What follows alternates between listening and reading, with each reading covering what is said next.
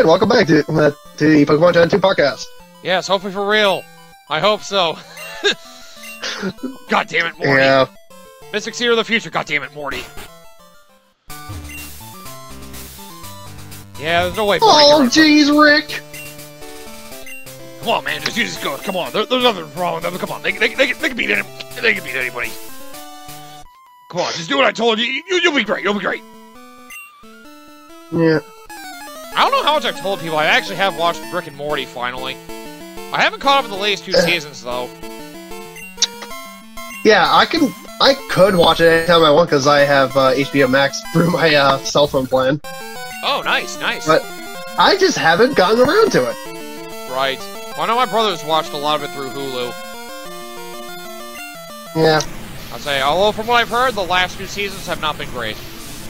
They haven't lived up to the Okay. standards of the first three. Which the third has not been as good as the first two, so please you know diminishing returns. Okay. So I'm looking into this, like, because of how many supposed like glitch uh, Pokemon are in Generation Six. Yes, we established last time there's so many goddamn fucking glitch Pokemon in Gen 6. It sounds like there's some weird formula that happened there that just generated a bunch of shit. Yeah, which there's even a section because most of it is Bul- Bulbasaur's, including the hybrid versions, is what they call it. Right. But there's a section specifically listed of the non um, Bulbasaur ID ones. Why is it mostly Bulbasaur? What the fuck? Jeez. That is weird. Yeah. So there's a possibility that they could appear, uh, depending on the index number in decimal and uh, hex, like the hex hexadecimal. So, Right, right, right. um, so there's two, there's two that could be Ivysaur, Okay. one that could be a Krabby, one that could be an Arceus in dragon form, Oh god! I want that one that could be, yeah, one that could be a Charmeleon, one that could be a Mime Junior, one that could be a Charizard, one that could be an Unown C. Okay. One that could be an Arcanine, and then the final one is a Mega Venusaur. Oh god! Yes, have Mega Venusaur the regular. Yes. That sounds wonderful. Yeah. Anyway, while And we're talking about that, we're also going through the uh, gym here. It's a ghost type gym. Just heads up for Yes. anybody wondering the progress of the game. I got a Pokemon last time back in Olivine City, and now we're back here to make progress from where we should be. All right. So yeah, at me funny. generation. Yeah, Generation Seven. There's only one, which is the egg. Um, can only be seen via cheating device. Well, at least they fixed a lot of things up in Gen 7. And so far, Ow! nothing in Gen 8. Uh, in terms of glitch Pokemon. So, hey, there you go, people. There's one positive thing for Gen 8. No glitch Pokemon. Pokemons. Also, Hunter just killed himself with Curse. Yeah, the AI in this, if you're faster than them and they use Curse, they just look stupid.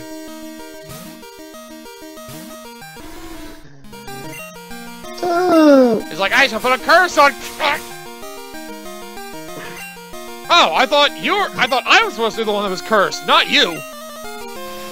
Oh, you, you know what the best ones I've, I've had happen? Where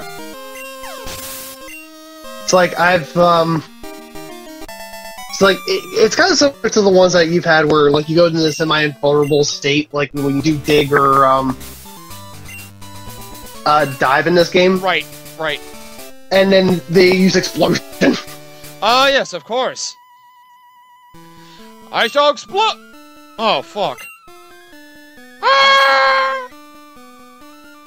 it's I like come out now? for for experience and money. Can I come out now? I dodged your tactical nuke. What now? or funnier, like you switch out a poke, you switch your Pokemon, they they use explosion, and it's like the Pokemon switch to was a uh, Haunter. Like, oh, fuck! Oh, that's pretty cool. I don't know what that was, but that looked pretty fucking awesome. Ack! Damn you, cars! Oh yeah, haven't explained some of the weird ghost moves in this game, like Spite. That's a dickish one. Takes the PP, the last move you used, and reduces by a number between like three and five, I think. Hmm. That can be annoying if you're trying to not constantly have to go back and heal. Hmm. Some ghost moves are just so weird in this game. Yeah. Where Pokemon come from? What are they fighting for? All I know is that I want all these trainers to get the fuck out of my way. Hmm. Now, can you guys let your ghosts kill themselves again? And also just realized we had plenty of trainers who evolved their haunters early. God damn it!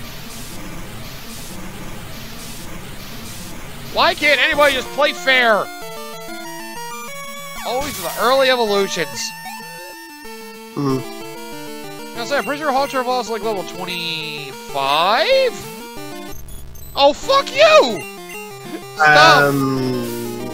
Actually, I think it's 24, but I'll double check that. Close enough. I, I thought it was either 25 or 24. Either way, they're still evolving them early. The highest. Yeah, e either way, they're dirt. Either way, there could be dirty cheaters. I know. I know the. I know the Kadabra line, uh, or not the the Abra line. It evolves into Kadabra at level 16. That one I do remember Yes, off yes. the top of my head. Okay, Gastly does evolve at level 25. Oh. Okay, so I, yeah, I knew it was 25 or 24, yeah. one of the two. Yeah. Either way. They still cheated at the end of the day. Yes, they did. Oh no, you used mean look on me. However could you do that to me? I will paralyze you so you feel the wrath. Fire punch! That's right, you weren't ready for my friggin' Flappy to know fire punch. Yeah. Mainly because it's the only fire move I can have on my team since I did not take the fire starter. Mm-hmm.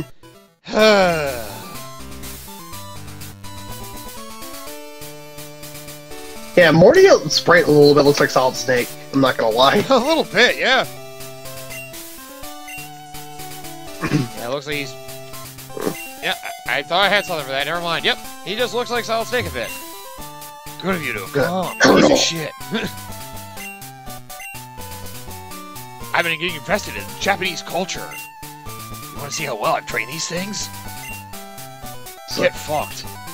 While you battle, I'm I gonna need hide in to this box. It's like I need to become dummy thick for Senpai. Yes.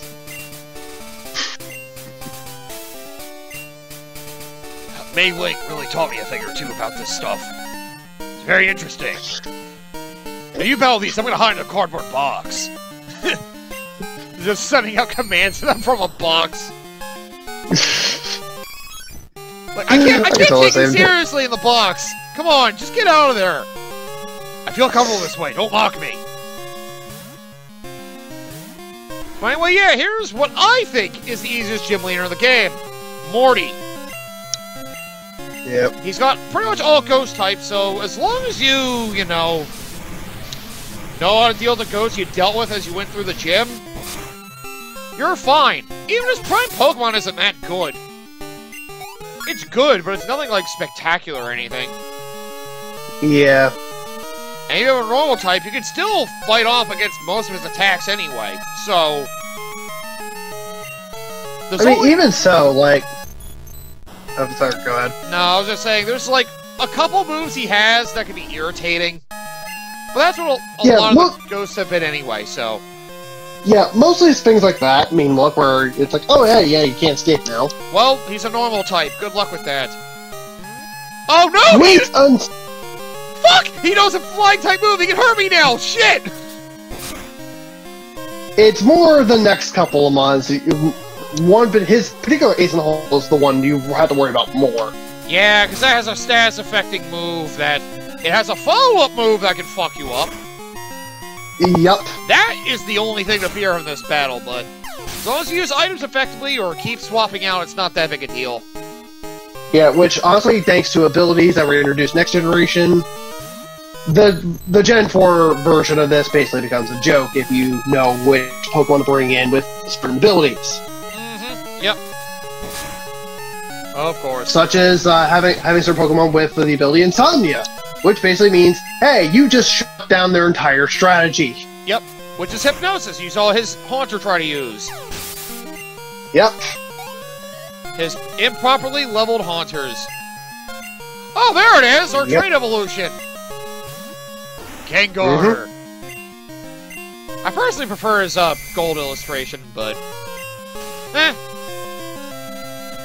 At least I think I think Crystal version actually like picked like what they thought were the best from Gold and Silver and used those as their sprites for that. Yeah. It's weird to think they used a mix of both. You think they would have just used just one.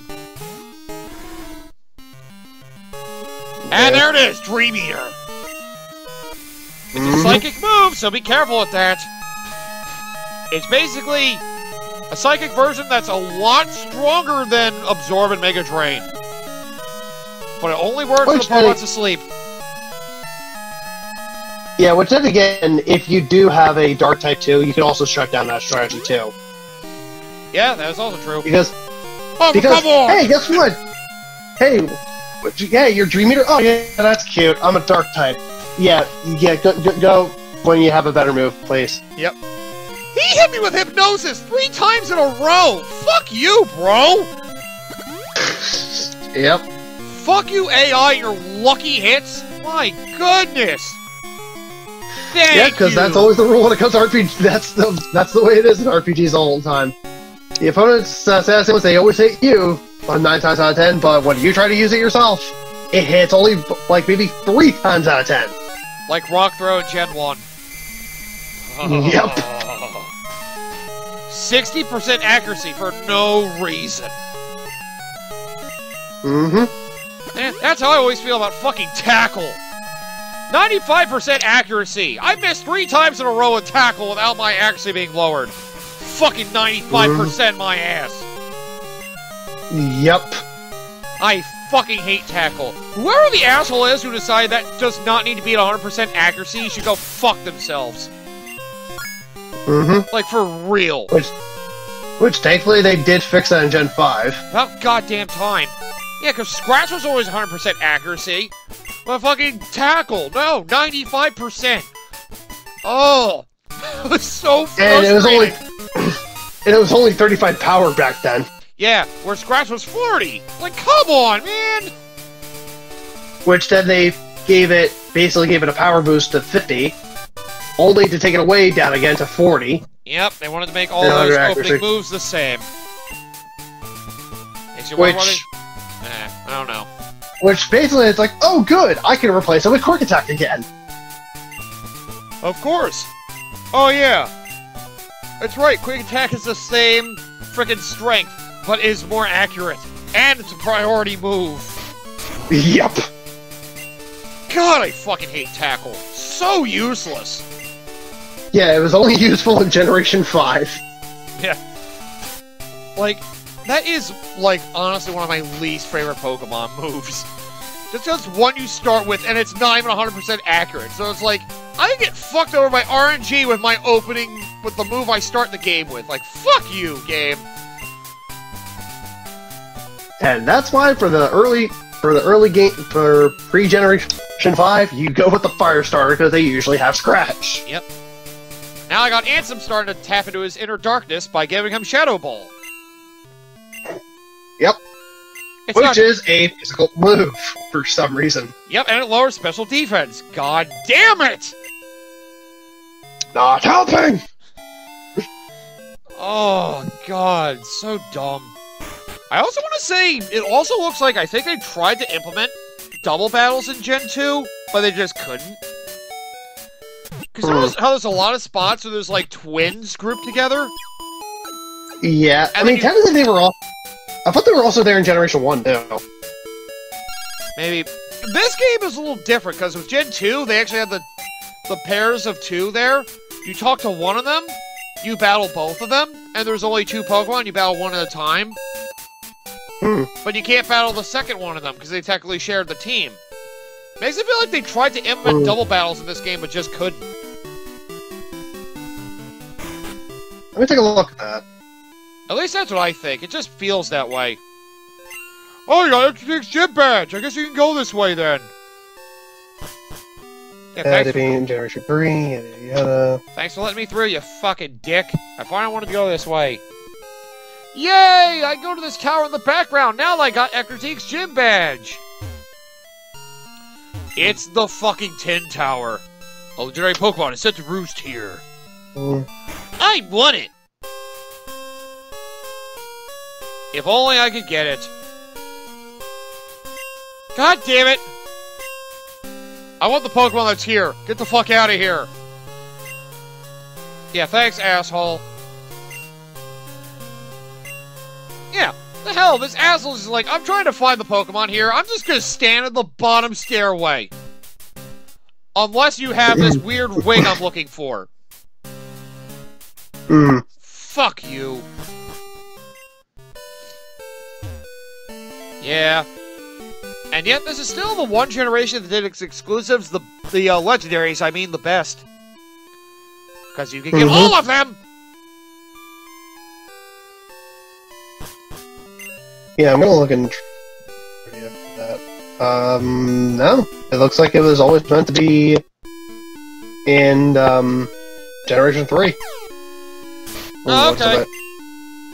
Okay. It just felt weird the setup in Gen 2. I know Gen 1 kind of had trainers next to each other, but they did battle separately. In this game, you, they actually, like, battled together, kind of. Oh, yeah, right, I forgot. The freaking Burn Tower here, you actually need to, um, have Rock Smash on you to get through this place. Because this game's an asshole. Because not those things sitting over there. See, like, a couple dogs? Hmm. How weird. There's like a bunch of statues there. I want to get between them and see what happens.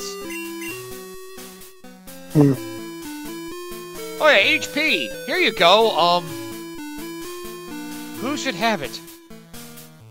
Add some.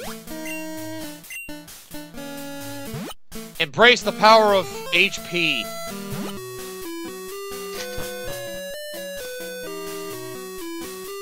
But yeah, I mean, I'm sure they always have elements they were trying to do previous generations they may not be able to incorporate until the next generation. I mean, Gen 5 is still the only one that I think that has uh, triple battles. Yeah, Generation 5 is one of the only two that has triple battles. I, I know Gen 6 has an option for you to do that in, like, the, the cafes. Oh yeah, I guess they do. I keep forgetting about that. I guess they got rid of it because they thought it was too complicated. Then I think they Yeah. always made them optional. I don't think you ever had to do any of them. No, like, um, yeah, the Bell Cafe things, like, yeah, you don't have to do any of those. Yeah, I know a lot of the, That's where- That's all. That's all where the um the triple, triple battles are in that, that Yeah. generation of games. Yeah, so I know Gen 5s is you had to like run into particular people. They would tell you that it's a triple battle, and you'd have to actually accept it to do the battle. They wouldn't just throw you into it immediately. Which was nice, but yeah, triple battles are always really weird. Mm. Basically, you wanted your Pokemon in the center to be the one that had a move that would hit everybody, and the two on the sides hopefully be good against the uh, Pokemon that they're facing. Mm, yeah. At least I think that's how I Yeah. wanted to do it. Yeah, I feel like yeah, I feel like triple battles is way too complex, honestly. Yeah, double battles at least makes sense because you can do like team tactics and you know moves that can hit everybody or hit both your opposing Pokemon. With triple Yeah. battles, you kind of have to think can moves hit two Pokemon? It's also based on the positions. Like if you're in this corner, you can't hit the Pokemon in that corner. It just got a little much. Oh yeah, this guy actually burns down to ashes apparently after you beat him. oh god, went back down to regular Game Boy colors. Shit. I always thought that was a glitch. When you talk to him, just like shit. Ooh, I made it! So! Oh god! What are those? They sound... Where are you going? Where are you going? Oh, and it begins. There's also a nugget between them. Be sure to take that. Yep. Good, free money. Yeah. Gonna need it to buy all the Pokeballs you're probably gonna be wasting trying this shit. So... So, Yep. You can talk about it if you want. Go ahead. okay, so in addition to additional uh, types of evolutionary ways of evolving and all that stuff, you know there, how there's more legendaries now than there were previously? Yeah. Not by much, but some, yes. Yes. So in addition to the traditional stationary legendaries with, um, you know, Lugia, Ho-Oh, Technically, There is also now- thing. yes, but only in the Virtual Console version Yes, specifically. yes. Legally. I mean, officially. Le- legally, whatever. yes. Whatever, yeah. Yes. Officially, legally. Legally official. Not hacking the game. Whatever. yes. There. Either way. But now they've also introduced another mechanic, which is, depending on the version of the game you have, can be either easier, because what one of these three assholes becomes a stationary mon in Crystal version. We'll get to that when And we that also carries over to the remakes, apparently, which is nice. Yes. However, no matter which version you have, the other two, how would you like to aimlessly try to find these assholes? Ah, roaming legendaries. Yep. Basically, they just pop up at random spots of the map, and you gotta hope you frickin' run into them. It's easier And- once you find them, but And it's these particular legendaries is why the move moves such as Mean Look were introduced. Yep. But even then, it might not help you because of certain moves that I think all three of them have. I think all of them have Roar. Yes. And if it's done in a wild encounter, the encounter automatically ends. Yup. And I know in this game in particular, not only does it have the most roaming legendaries in it, it's also kind of broken. Mm-hmm. It hasn't personally Because hap- it hasn't personally happened to me, but I know certain things that should not let them run away can still let them run. Entei was frozen. Entei ran away. Yes. All right, that's the other thing to mention. When you run into the roaming legendaries, they tend to run on the first move. So you either have to trap them so they can't move, which means you have to be fast enough to use moves like Mean Look, or hope you can catch it as soon as you run into it, or the riskier strategy, keep hurting it every time you run into it, because the health carries over. And Yes. just hope you eventually catch the fucking thing. And of course, unlike in later generations where as long as you stay on the same route, if you happen to find it in said route, hmm they'll stay in the route until you encounter it. The way it works in these games is that they'll never stop fucking moving. You can literally take one step, pull up your Pokedex, and suddenly they're moved to a different location. Yeah, I know Gen 4 it's also kind of a pain, but and then again, there's only Because they never stop moving. Yeah, I know Gen 3 it wasn't that bad. There was only one, and if you saved your Master Ball, it's like, all right, cool, catch. And then you don't have to worry about it because Gen 3 only has one roaming legendary. This game has three. Crystal has Yeah. two, and the Gen 4 games also have two. Yep. I'm pretty sure Gen 5 only has one. And then those Alright, really let me double check that out. And Gen 6 has a weird ex- execution of a roaming legendary. You have to run into it 10 times before it goes to a stationary location. Okay. Oh, Gen 6's was so dumb. You chased it and had to run to it 10 times for it to then go to a stationary location. Why would you waste my time? Like, oh. yeah. It only it, They only happen in the core series games through gens 2 through 6, with exception of Black 2 and White 2 and Omega Ruby and Alpha Sapphire. Yes.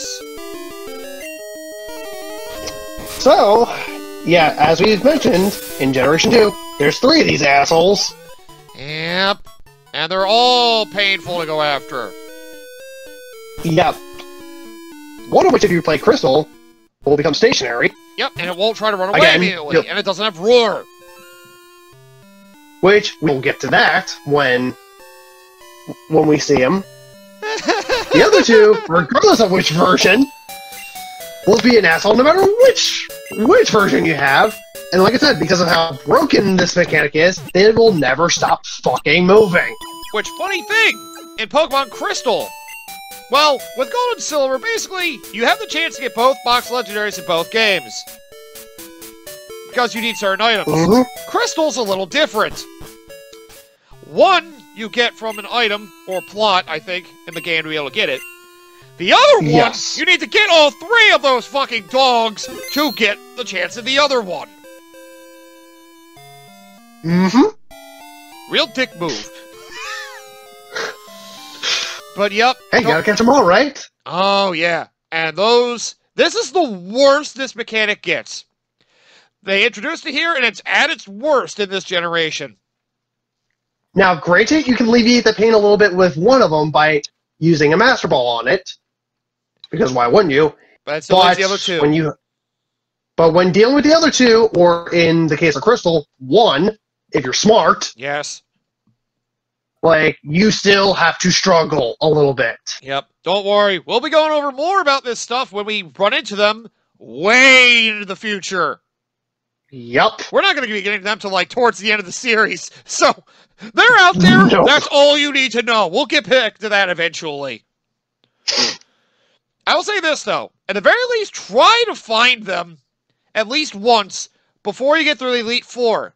Because repels are your best friend for uh, hopefully being lucky to find them. Mm-hmm. Because they repel everything but Pokemon that are levels higher than you. You can use those to hopefully track them down in early areas if you're lucky. That's really the best help you can get. Alright, well, let's end this episode. We introduced the dogs and got our fourth gym badge. Come back next time, and I guess we'll go back to Olivine City and try to progress the plot.